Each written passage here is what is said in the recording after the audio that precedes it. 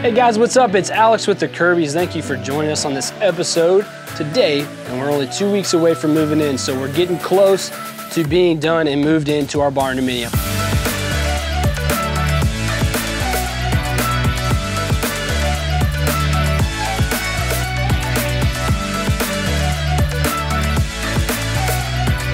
Got some stuff to show you.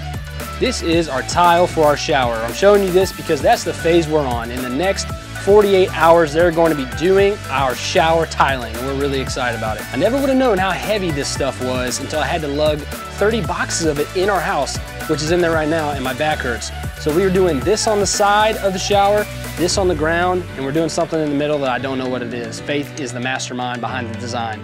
So anyways, our stuff's in, they're doing it tomorrow. I wanna show you guys some updates inside. They've got the house primed and ready to go. We're getting the trim done right now. A great crew of guys is here doing that as well.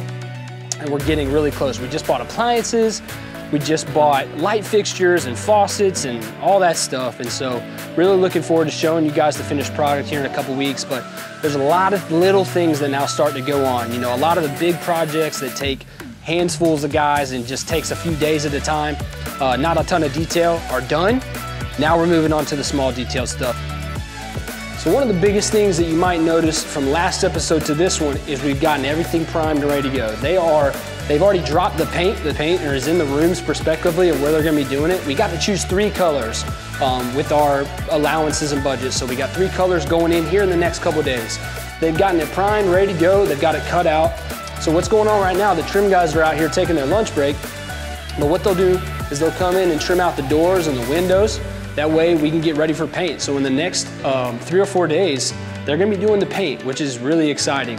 Um, if you wanna look down at the floor, we are actually doing a stained concrete uh, for our floors. So one of the things that um, you guys might wanna think about when you're choosing your flooring is, is it possible to stain? For us, we're gonna sand it, and I have a, a friend, thankfully, who is really good at staining concrete. Over here, we've got all our doors, they just came in yesterday.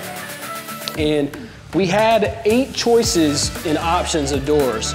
We went with this two square, um, one rectangle, one square panel type door. Um, and we are gonna paint all our doors. So they've put in a couple in so far uh, for the entrances to the house, but they haven't done the doorways for the bedrooms and bathrooms. So this is all of them here. I think it's four. Uh, we've got four more doors, or five with the closet, excuse me. A couple things that people have asked me since the last couple videos um, one, was it really difficult for permits for a building like this? For us, it wasn't. We have this as a residential house, just like you would build a stick-built house. So permitting was the exact same it would be for a stick-built house. So that's an answer to a question we got on the last video. Um, and the second one was, was I nervous about doing this when you haven't really seen anybody else do it uh, that you may know? For me, we weren't nervous. We knew, um, we have a really reputable company here in our town and then I knew I had a great contractor. And so I would say those are the two things. I wouldn't be as comfortable. A lot of you guys on YouTube have been saying, where can you buy the kit? And which is, if you don't know, a Barndominium, a kit is where you can buy online and do it yourself. I personally don't feel comfortable ordering a kit because again, I don't know the company and, and they're not driving distance from where I'm building my house. Um, I like that connection. So my advice would be to have a contractor and a building place close to you within driving distance, a couple hours uh, to do your barndominium. So uh, that's kind of the big things going on in the house uh, today and in this episode.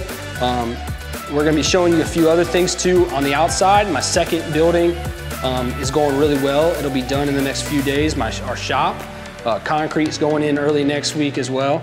And then uh, the landscaping is almost done. We're planting some more trees. Um, I just got a great deal at uh, my local landscape supply on some overstock trees. And our driveway is almost done. They got it scraped and it's almost compacted and good to go. So what I want to show you on this second building that we're building is just the big and the, the size of the doors. We're doing 12 by 14 doors, two roll-ups. They're gonna be black instead of white, which is pretty unique. Uh, they actually said they had never done black doors, so this is the first time they're doing that. And it's gonna house all of our equipment for my house. So a tractor, a mower, uh, camper, hopefully, uh, things like that. So you can see just from sheer size, it's gonna be really tall building. Um, and it's gonna be right under 2,000 square feet. So if you're looking at doing a barndominium or shop, again, contact us. We'll connect you with the people doing this one. And uh, thanks so much for watching.